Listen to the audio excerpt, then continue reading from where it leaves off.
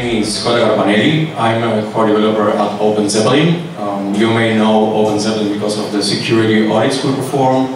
We audited the Solidity compiler, we audited uh, several projects for Coinbase, we audited and broke Serpent back in the days. Um, and most recently, we audited Compound and Instal. You also may know us because of the OpenZeppelin contracts, aka OpenZeppelin Solidity repo, which you may know about. Uh, one of the most used libraries in the ecosystem with more than 22k downloads. Um, but today I'm not gonna talk you about security, I'm not gonna talk you about the contracts repo, I'm gonna talk you about two tools we have been developing with our team, uh, which are the OpenZeppelin SDK and the OpenZeppelin starter kits.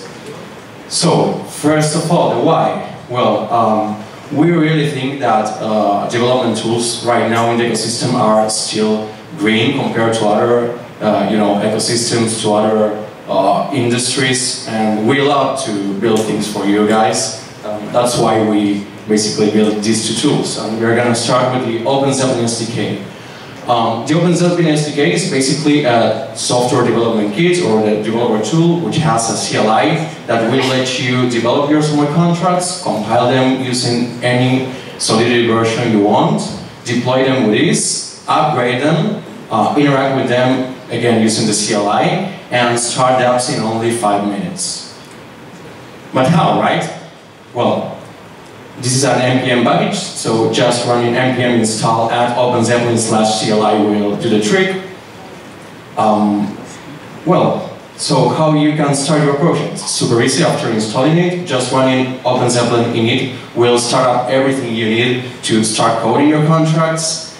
You then probably will want to code your contract, which, for example, could be a my contract with a function that is called to something that receives a something parameter. Um, and just for deploy, you just have to run OpenZeppelin create, specifying the contract name and which network you want to deploy it to. Which is not really necessary because all these commands are interactive and if you don't specify the parameters nor the flags, you won't have any problem. And yeah, it will deploy only with that uh, command, the contract in that address. And now that we have our contract de uh, deployed, we probably want to talk with it which is, again, super easy. Uh, the OpenZeppelin CLI has two super handy commands, which are call and send transaction. Call basically for calling pure and functions, and send transaction for calling any other uh, public function that will actually make a transaction to the blockchain. Uh, and are super, super easy to use.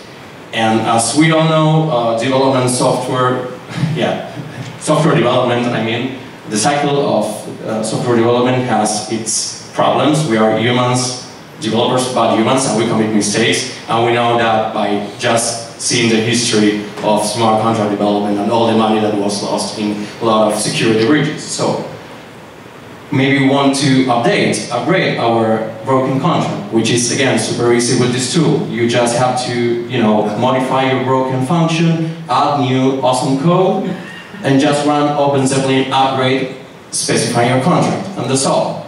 Uh, the CLI will upgrade your contract, and as you can see, it is deployed in exactly the same address as it was created the first time. I'm not gonna go very deep in this topic, but if you want to read more on how we are implementing this, please go to zeppelin slash upgrades. Um, but anything else? Does this CLI has anything else? Yeah. Apart from the commands in the left, we have other super handy commands, compile for compiling your contracts with any version of Solidity you want, verify for verifying them to Etherscan or Ether, Ethers, Etherchain, uh, OpenZeppelin accounts for listing all your accounts in a specific network, transfer for transferring Ether or ERC20 tokens to any account, balance to query uh, the balance on in ERC20 tokens or ETH of any account, and I this last command, the unpack command, because this is the link we have with OpenZeppelin starter kits, which are basically uh, dApps scaffolders for you to start your dApps, your decentralized applications, just running a couple of commands. So, uh, the components of the starter kits are the OpenZeppelin contracts, which you all probably know, OpenZeppelin SDK that we have been talking about, Infura for connecting to any network, um, a one-liner, killer one-liner Web3 adapter that you can use uh, to avoid uh, the cumbersome process of, um, you know, uh, developing the first part of Web3, um, React and Rimble for managing your front-end uh, uh, components, and the Open Zeppelin hot loader, which is a super cool tool we developed that will let you modify your contracts on the go, and after saving them, uh, you will be able to see in your website those changes. I mean, if you're, for example, reading the API and you save your contract with a different API, you will be able to see that same information, the new information, within your website. Usage is, again, super easy with the CLI. Running Open Zeppelin Unpack Starter or Open Zeppelin Unpack Tutorial will do the trick. Being Starter, uh, the starter kit which will let you uh, start uh, a project from scratch, and tutorial uh, a simple demo on how to use the CLI with two super useful examples that are counter and EVM packages. You can read more, go into Zeppelin slash starterkit, Zeppelin slash SDK, and that's all. Thank you very much.